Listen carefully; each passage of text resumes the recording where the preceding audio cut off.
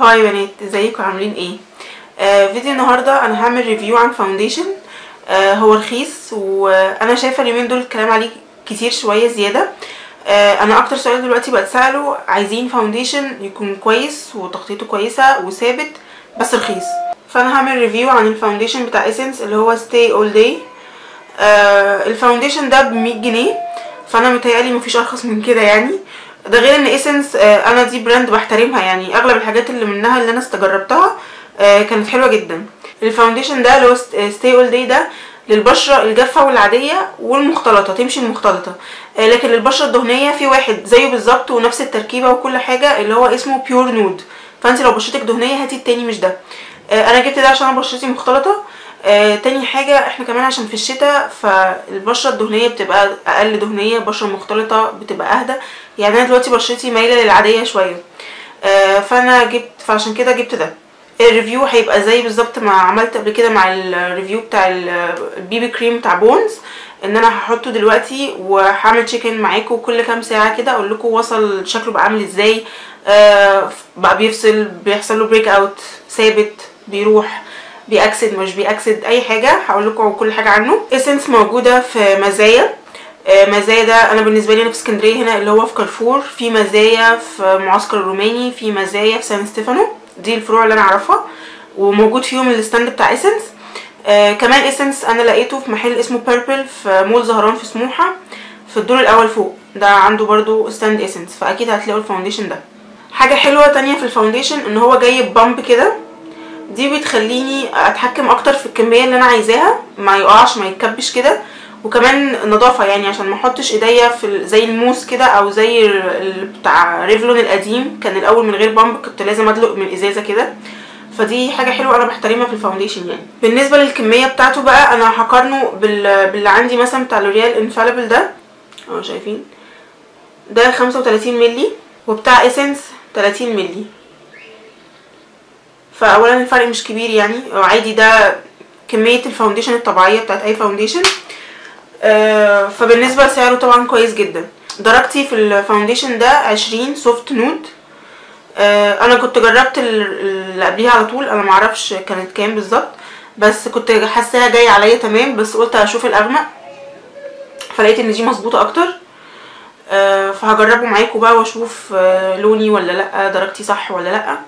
ونشوف عامل إزاي. هاخد كده بكام pump على ايديا. دي كده pump واحدة. بصوا زي ما أنتم شايفين هو مش مش مش تقيل قوي ومش سايل قوي يعني بينزل اهو. دول كده ضغطتين. وبس أنا حاسة ان الرخم فيه ان هو مش على اصفر. هو على pink شوية كده. بس أنا ده عادي هز... يعني هظبطه بال bronzing وكده. هحاول اخليه ما يبانش انه pink يعني. اهم حاجة عشان أنا نازلة لابسة طرحة كده اي كلام عشان ما تتوسخش. أه هعمل زي ما عملت برضو في ال review التاني أه نص بال بال sponge دي بتاعت Real Techniques والنص التاني بالفرشة عشان أشوف. في بنوتة سألتني عن ال sponge بتاعت Real Techniques الجديدة وحشة عن القديمة ولا لأ؟ عشان هي حاسة إن في تغيير في بتاعتها. فبصي أنا لو كان معايا القديمه كنت وريتها لك. بس هي اتفرتكت. لكن والله دي بصي طريه خالص وجميلة جدا. أنا مش شايفة فيه فرق. فأنا اخاف أقولك إن بتاعتك ممكن تكون كوبي بس يعني عشان مظلمش اللي انت جايباه منها فبس مش عارفة بصراحة. هو أفتح مني ولا إيه؟ اولا ليه ريحة على فكرة؟ في ريحة كده وردي شوية. هي مش تقيلة يعني مش مش مستفزة. بس لو انت عندك حساسية من الروايح أو حاجة ممكن ده ما يعجبكيش مش عارفة. بس أنا عادي يعني ريحته لطيفة. اولا دمجه سهل جدا. عادي طبيعي لحد دلوقتي. تغطيته. تغطيته حلوة جدا على فكرة يعني متوسطة أو أعلى من متوسطة لسنة. فحلو يعني. أحيدة فاتح عليا جدا. أنا بس عايزة أقول لكم أنا مكنتش حاطة حاجة أي حاجة على وشي ولا primer ولا بتاع. أنا بس يا دوبك مرطباه ده كده نص بال بال sponge. أنا حاساه فاتح عليا شوية أو قوي. بس ماشي برضو ده هظبطه بال contour وال bronzer وكده. ده شكله. أجرب بقى الناحية التانية بالفرشة الفرشة ال kabuki اللي أنا دايما بستخدمها دي. مش عارفة ليه حاسة إن التغطية هتبقى أعلى بالفرشة في مع ال foundation ده. يعني أنتوا عارفين إن ال sponge بتشرب شوية من ال foundation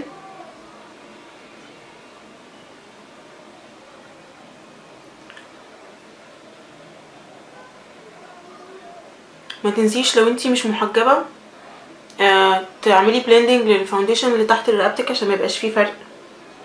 وفي الودان كمان. دي حاجة مهمة بننساها. الفرشه دي عامة ما بتخططش مع ال foundation بس مع ده مخططة بتخطط مش عارفة ليه. يمكن عشان سايل شوية مثلا لا هي التغطيه واحدة. هنا زي هنا. أنا سمعت عنه إن هو بيأكسد بيأكسد يعني بيغمق شوية مع مع الوقت. وانت حطاه يعني. فمش عارفة لسه أنا هعرف الموضوع ده بقى. هو لحد دلوقتي هنا زي هنا بالظبط أنا مش شايف أي فرق. بس هو مع ال- بالفرشة خطط شوية. فانا هعيد عليه تاني بال blender كده. أنا أكتر مكان بعرف بشوف منه التغطية على مناخيري عشان أنا في كام وحدة نمشاية كده.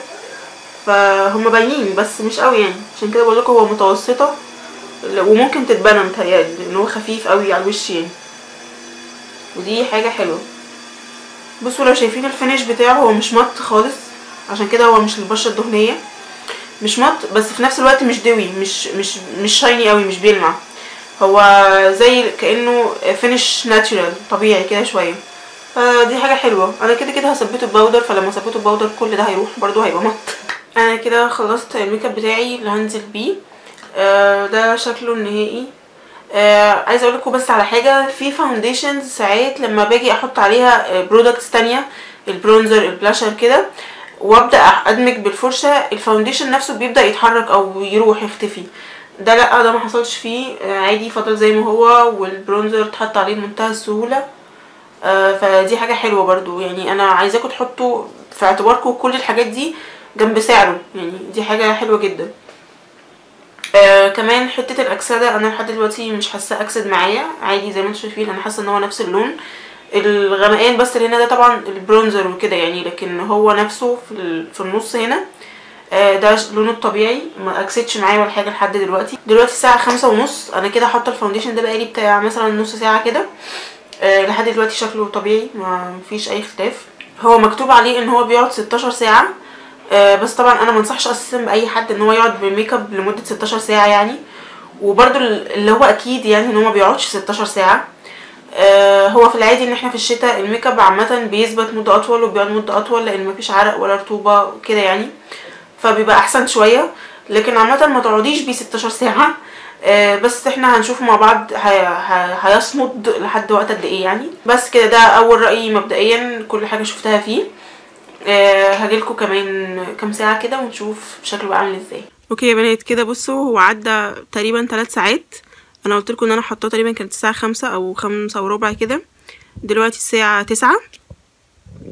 هو لحد دلوقتي كويس أو موجود مكانه عادي ما عدا بس ال- خطوط الابتسام دي هنا لو أنتوا شايفين.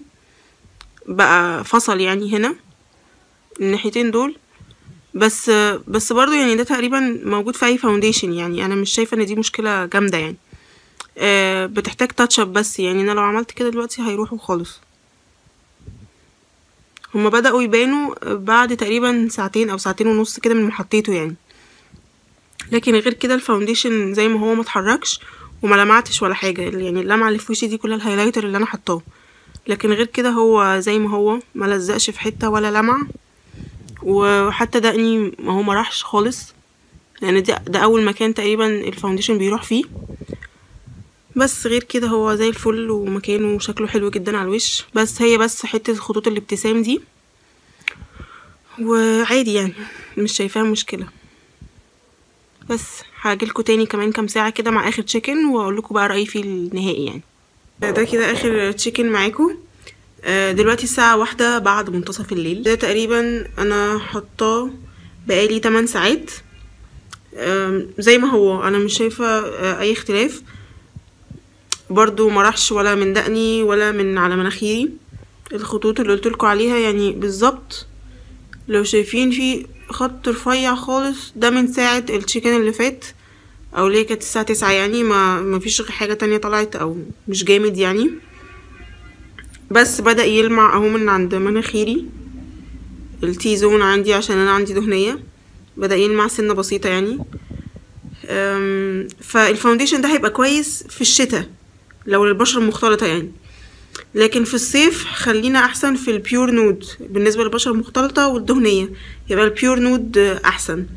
آه، لكن ده حلو قوي للبشرة الجافة والعادية ولو مختلطة شوية في الشتاء يعني. لكن غير كده أنا بجد شايفاه حلو وشكله حلو و... وسعره طبعا تحفة. يعني, يعني إن هو بيعمل كل ده أو صامد لحد دلوقتي بالسعر ده حاجة حلوة قوي.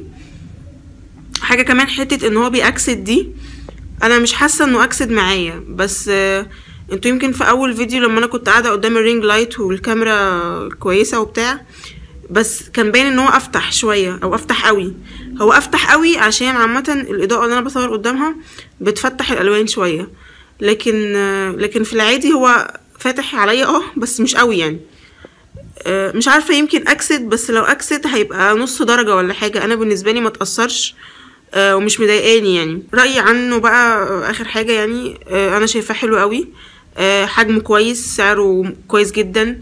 ينفع جدا للاستخدام يومي لو عايزة تبنيه طبقة تانية يتبنى. ومعلش إن أنا بقى بصور بالموبايل وكل شوية أصور لكم في مكان شكل عشان أنا مش في البيت ومعيش ولا الإضاءة ولا الكاميرا. ف... فبصور بالموبايل يعني. بس يا رب يكون اللي أنا بقوله واضح قدامكم والفيديو فاتكم. ولو فاتكم بقى ما تنسوش تعملوا like و share و subscribe لل YouTube channel و... و like على ال Facebook page و follow على الانستجرام. وأشوفكم الفيديو الجاي. باي.